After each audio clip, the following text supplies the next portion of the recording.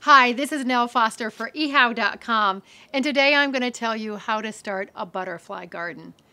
Don't we all love butterflies in the garden? I have a lot in my garden. I have mainly monarchs here. There are a lot of them in Santa Barbara, and I just love to see them flying all over the backyard and the front yard. Just beautiful. So what you should do first is do a little research to find out what butterflies are in your area, and that's going to determine what are their host plants.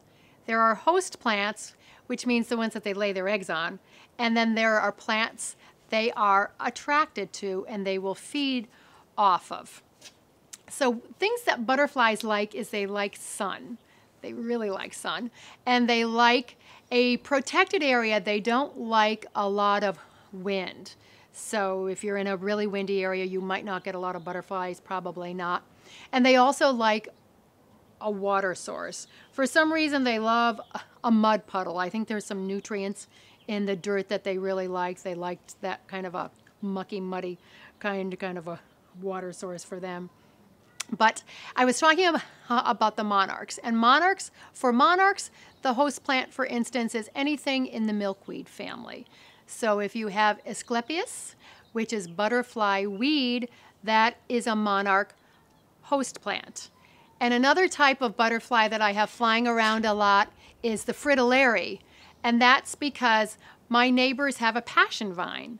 And passion vine is a host plant for the fritillary. And I'm going to show you this up close. This is what butterflies like. They like a flower that has a flat center because they land on it. They don't have a long beak like a hummingbird has a beak to get into a tubular flower they can get right in here and get all the good stuff out of the plant just by landing right on top of it. Or you can put out some oranges or some watermelon in your garden, some pieces of fruit because they like rotting fruit too. They love the sugar. You can actually do a butterfly feeder, which would have like a sugar solution in it. And there's butterfly houses. Did you know that? Google butterfly houses. They're really cool looking. And what that is, it's a, it's a shelter for the butterfly. If it's cold, it can go in there. If there's predators in the area, it can go in there. It can go in there to stay warm. So um, they're really fun to have in the garden too, the butterfly houses.